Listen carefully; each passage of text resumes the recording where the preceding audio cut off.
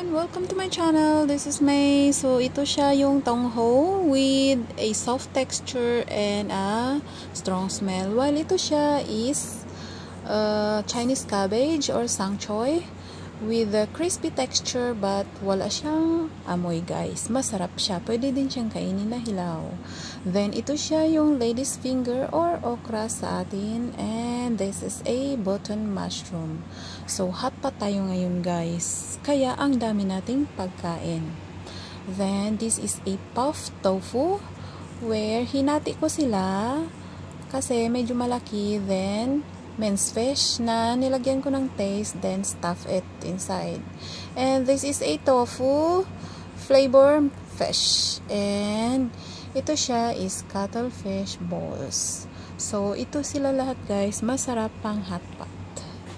And stay tuned guys. Short lang ito siya.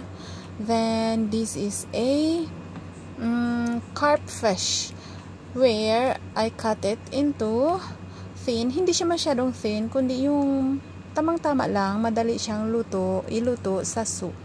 Then fresh shrimp na pang din.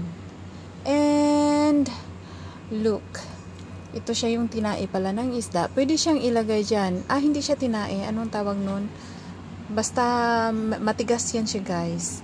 Then, ano natin? Pork and beef. So, dahil mahirap ihanapin yung beef, kaya I bought it frozen. And fresh pork. Ito siya. So, that's all for tonight guys. Our hot pot. So, I cut it into thin. Para, tuslo-tuslo lang siya sa sabaw, guys. Ana naman ng hot pot, diba? And my soup is uh, fish din. Pero, na, ano na siya, guys. Na-stray na yung mga ano niya. Yung mga buto-buto. And, I mix it with corns para tasty. Thanks for watching, guys. See you soon.